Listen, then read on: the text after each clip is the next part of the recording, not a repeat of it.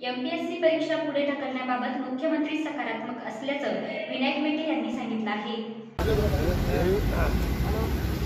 आज माननीय मुख्यमंत्री उद्धवजी ठाकरे साहेब उपमुख्यमंत्री माननीय अजितदादा पवार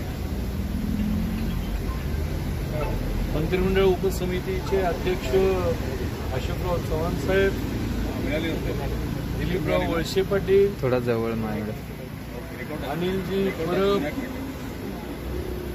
वडट्टीवारजी ॲडव्होकेट थोरात साहेब आणि सर्व जे ज्यांचे विषय होते मराठा समाजाच्या आरक्षणाचे आणि यांचे त्या सगळ्याचे सचिव प्रधान सचिव असे सगळे मंडळी त्या ठिकाणी उपस्थित होते. आमच्या शिष्टमंडळाच्या सोबत जवळपास दीड पावणे दोन तास चर्चा माननीय मुख्यमंत्र्यांनी आणि या सगळ्या मंडळींनी केली. जवळपास आम्ही वीस मुद्द्यावर पॉईंट टू पॉईंट ही चर्चा झालेली आहे.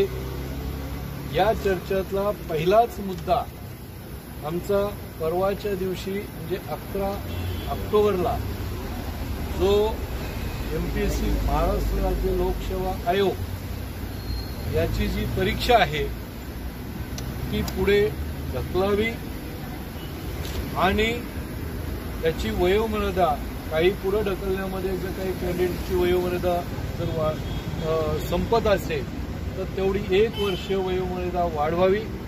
या मुद्दा पहिला आमचा होता त्याच्यावर खूप जवळपास अर्धा तास त्यांची चर्चा त्याच्यावर झाली. वेगवेगळ्या पद्धतीची टेक्निकल सरकारच्या वतीनं सांगण्यात आलं. परंतु आम्ही त्याच्यामध्ये हे स्पष्टपणे सुधारण त्यांना सांगितलं की या कोविडच्यामुळं आणि मराठा आरक्षणाच्यावर स्थगिती आल्यामुळं ज्या मराठा समाजाने बी मधून ज्यांनी अर्ज दाखल केलेले त्यांचं भवितव्य आता काय? त्यांचं भवितव्य जोपर्यंत निश्चित आपण करत नाही शासन त्यांना कोणत्या कॅटेगरीमध्ये आहात हे तुम्ही जोपर्यंत जाहीर करत नाही आणि त्या तोपर्यंत या परीक्षा पुढे ढकलण्यात याव्यात असं स्पष्टपणानं आम्ही सांगितलं त्यांना. त्याच्यावर बरेचसे त्यांनी काही काही मुद्दे मांडले गेले.